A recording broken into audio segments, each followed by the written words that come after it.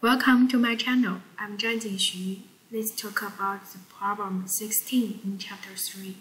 This one is a little bit difficult. We still do the calculation about vectors.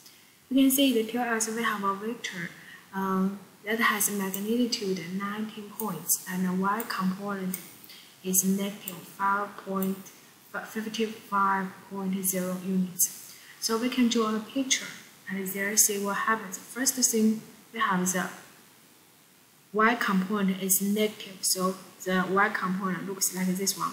And we also the magnitude is 90 units. So the vector it has a y component negative, so it must be this one or this one. Do you agree? This one or this one. In this one, and we assume this one 90 and this one 90. Ask you first of all, what are the two possibilities of x component? You can see when the this one when the vector is it's just pointing to the positive x, positive x direction. The x component is this one, and when it is this one, it is a negative x direction. See, there are two possibilities. And when we solve these problems, we can consider this is a triangle. Agree? This one, this one, and this one is a triangle. We know this side. We know this side. It's super easy to find this side. Agree? And similarly for this one, this is still triangle. We know this side and we know this side, so we can easily get this side. And then we use triangle rules for this one, so this side is 90 units and x squared plus this uh, y component squared and then we get x has uh, two possibilities uh, positive or negative the next one assumes that the x component is uh, positive um, if the so we can say if the x component is positive so we choose the positive value 70.1 71.2 right? So this vector is this one.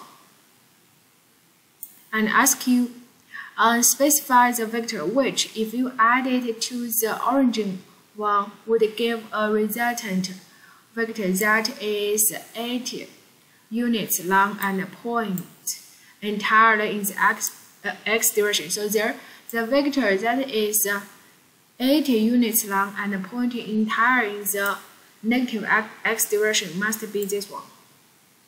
Agree? the x component is negative 80, y component is 0.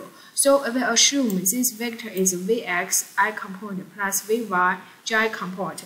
And then we can do this calculation. We find the vx, do the calculation because this one 71.2 plus vx should equal to negative 80.0. So it is this uh, final vector minus the x component.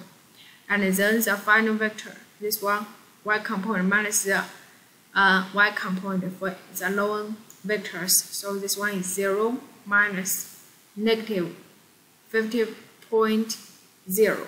And then we get the x component and the y component. Finally, we get the final answer. Thank you.